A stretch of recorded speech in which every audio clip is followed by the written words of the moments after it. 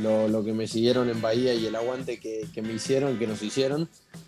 Pero sí, a ver, es, difícil poner en palabras eh, todo lo que sentimos estos días, mismo ahora, yo todavía por ahí no caigo mucho en lo que, lo que logramos, pero, pero sí, es alegría inmensa, eh, también satisfacción de, de nada, de, todo lo que hicimos, de todo lo que, de las cosas que dejamos de hacer, eh, todo el esfuerzo que tuvimos que hacer, dejamos de ver a mucha gente, a muchos amigos, más ahora que nos teníamos que cuidar por todo esto de la pandemia. Y en el momento que te dan la medalla pensás en todo eso, ¿no? Y decir, bueno, valió, valió la pena cada, cada segundo, cada cosa que hicimos. Así que desde ese lado, una alegría y satisfacción enorme y nada, tratando ahora de, caer un poco en la realidad de, esto, de lo que hicimos y, de disfrutar esto con, la familia y con los amigos que, nada, que estuvieron ahí bancándonos.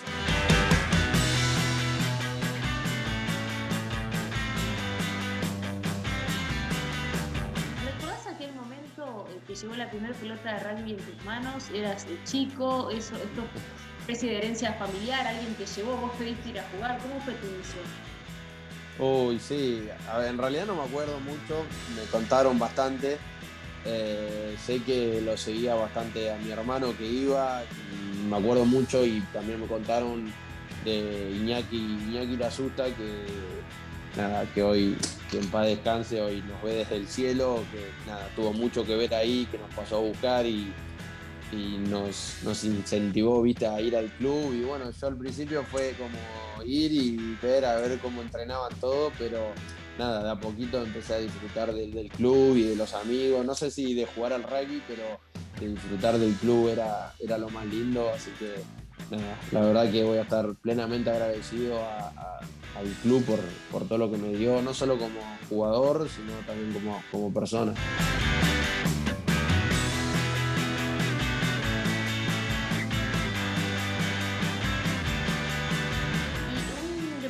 Que gana una medalla olímpica, ¿cuál es el próximo objetivo que, puede pretender para el futuro? Uy, no sé.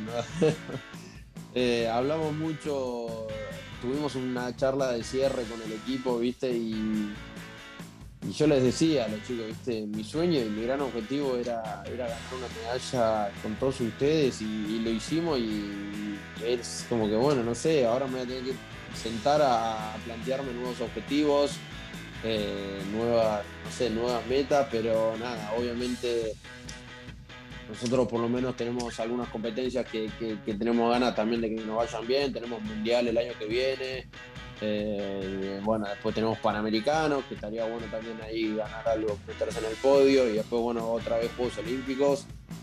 Y bueno, no sé, la verdad que no, no me puse a pensar mucho en eso, pero obviamente siempre quiero representar de la mejor manera a Argentina y ojalá sea con, otro podio, sería increíble, pero bueno, ahora trato de disfrutar, de disfrutar de esto que hicimos ahora, de, caer un poco en la realidad y nada, estar tranquilo y disfrutarlo con la familia y con toda la gente que nos bancó y no nos pudieron ir a ver.